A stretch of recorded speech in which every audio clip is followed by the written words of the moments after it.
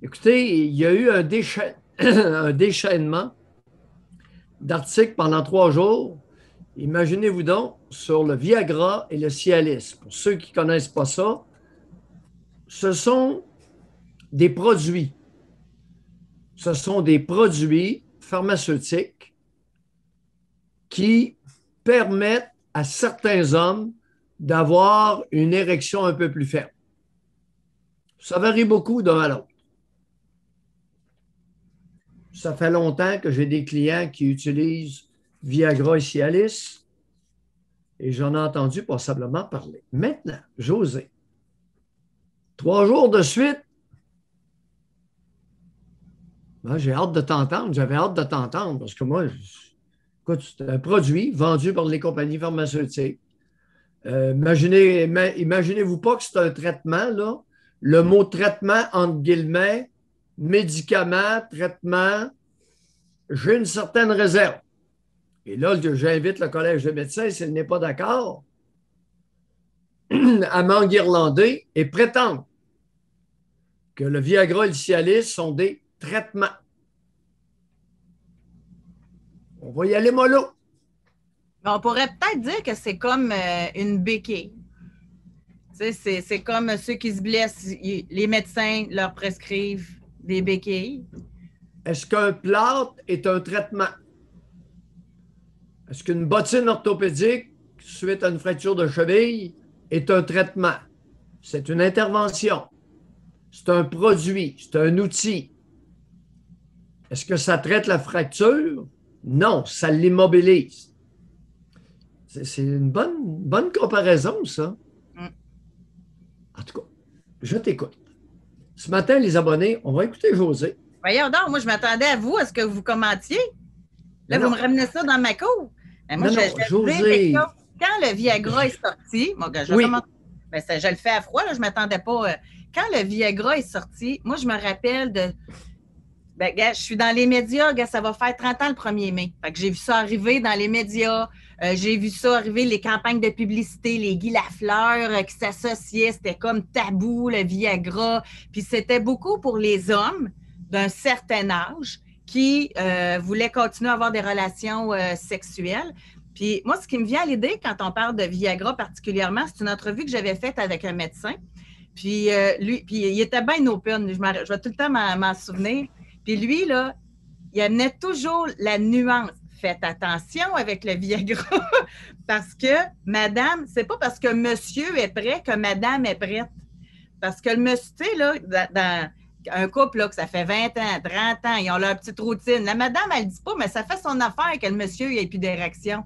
Puis là, le monsieur, il découvre Viagra, recommence à avoir des érections, recommence à avoir envie d'avoir des relations sexuelles, mais la madame est plus contente.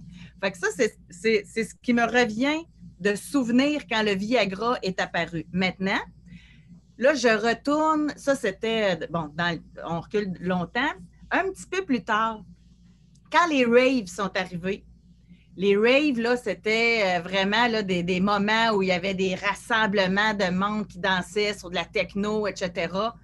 Rave égalait euh, la, drogue du sexe. Comment tu appelais ça? Là, ça existe encore. Là, L'ecstasy. Euh, l'ecstasy.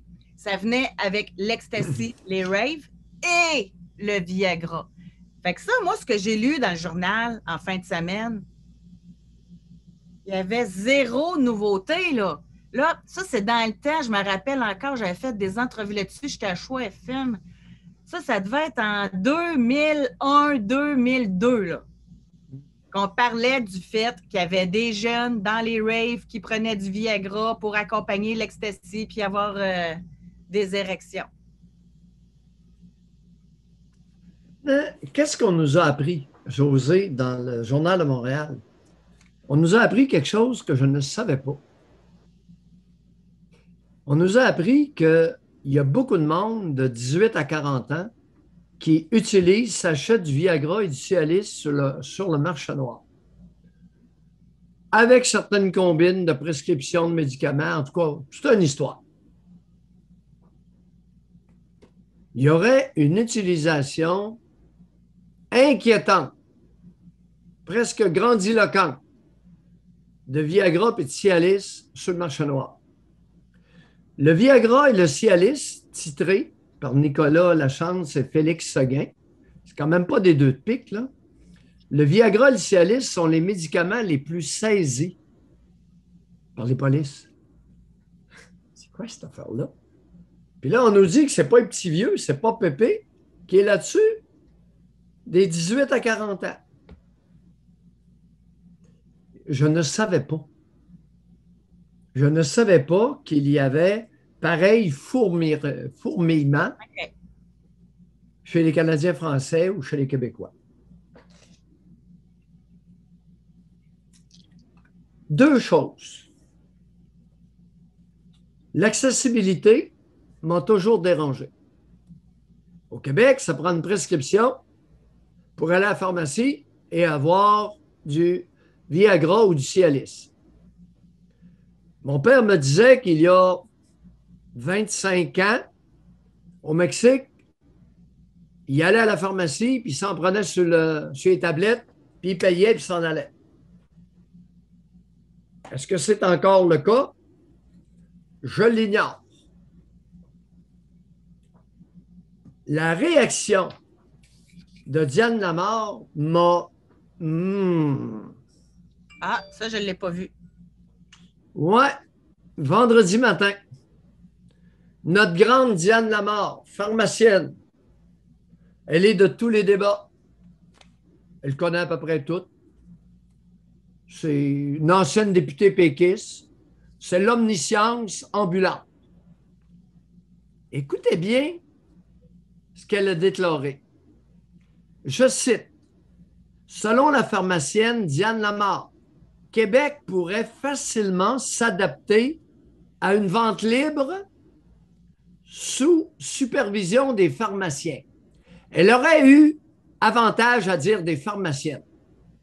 Ils sont comment les, femmes dans la pharmacie? 85% Ah oui, il y en a beaucoup. Je commence cette année de l'utilisation camouflée du, masculin d'une profession. Je commence cette année. Ce n'est pas l'ordre des infirmiers, c'est l'ordre des infirmières.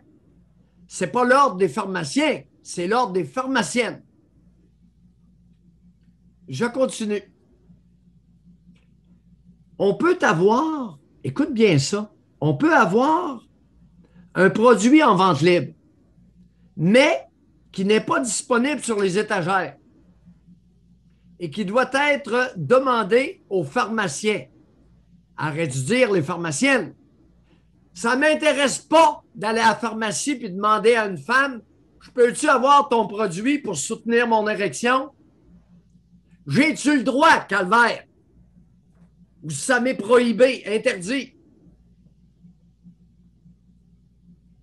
Vente libre, mais c'est la pharmacienne qui va te le donner. Il ne sera pas sur l'étagère. Écoutez bien, les amis. Vente libre, mais ce n'est pas sur l'étagère, c'est derrière le comptoir faut que tu le demandes à la pharmacienne. C'est acceptable, ça? Répondez-vous. Moi, ça ne l'est pas pour moi.